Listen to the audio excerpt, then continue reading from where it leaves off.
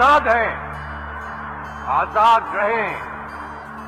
आप लोग इस मुल्क पाकिस्तान में अपनी अपनी इबादत गाहों, मस्जिदों या मंदिरों में जाने के लिए। आपका मज़हब क्या है? जात क्या है?